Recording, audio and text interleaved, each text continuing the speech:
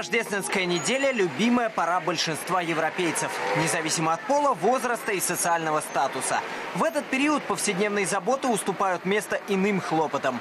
Тонкий аромат аппетитного жареного бекона с хрустящей корочкой спорит с приятным запахом жареных каштанов за умы и сердца покупателей, которые по такому случаю совершенно не жалеют евро и центов на покупку праздничных кушаний.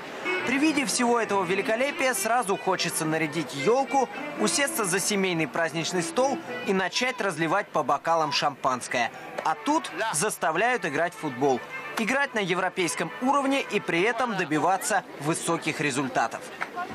Сезон 2007 получился для «Спартака» как никогда долгим. Бесконечные 11,5 месяцев футбола и авиаперелетов. Чемпионат России, Еврокубки, травмы и смена тренеров. За год все эти события успели перемешаться.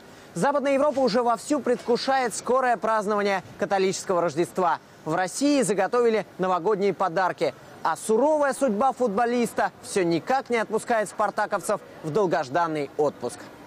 Еще никогда российские футбольные клубы не завершали сезон всего за 10 дней до Нового года. Система «Весна-осень», по которой проводится наш национальный чемпионат, вносит существенные коррективы в графике подготовки к тем самым штучным зимним матчам календаря. Вот и получается, что тренеры продолжают ломать голову над тем, как заполнить вынужденный простой длиною почти в полтора месяца.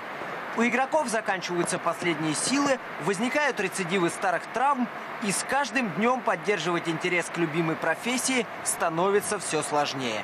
Впрочем, Станислав Черчесов утверждает, что немотивированные футболисты могут подыскивать себе новое место работы. Общая идея – лето ли, зима на дворе. Если ты профессионал, выходи на поле и показывай, на что ты способен. Ну, что делать? Во-первых, э, мы делаем свою работу раз. Э, я повторяю и буду повторять. Если кто-то не хочет до декабря играть в футбол, значит, должен играть в тех командах, которые не играют в Кубках УЕФА и так далее.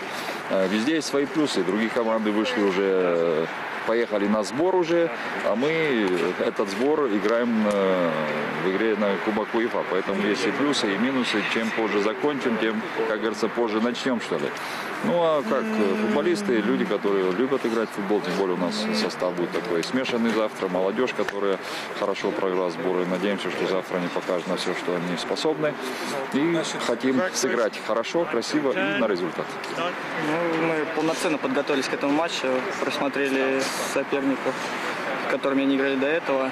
В принципе, команда неплохая, неудачно выступила в УЕФА, но игру, в принципе, показывали неплохую. У Плетикоса возникли проблемы с коленом, Павлюченко повредил голеностоп, Титов переутомился, отыграв целый год практически без замен. В день игры на ровном месте травмировался несгибаемый Дедура, выбыл из строя Баженов. Закончились соглашения с командой у Тарбинского и Бояринцева. Стоп! А теперь представьте себя на месте Станислава Черчесова. Реально усилить «Спартак» со скамейки запасных мог только один человек – Владимир Быстров. Один из немногих лидеров клуба, оставшихся в распоряжении Станислава Черчесова 19 декабря. Совершенно очевидно, что на проблему составления календаря нужно обратить пристальное внимание. Если уж даже молодые игроки настолько устали, что не понимают таких вот безобидных шуток. Здесь сейчас активно ходит шутка, что можно еще один сбор перед Новым годом, чтобы уже... Я боюсь, до драки дело дойдет. Я... Нет, нет, нет, нет, нет. Без...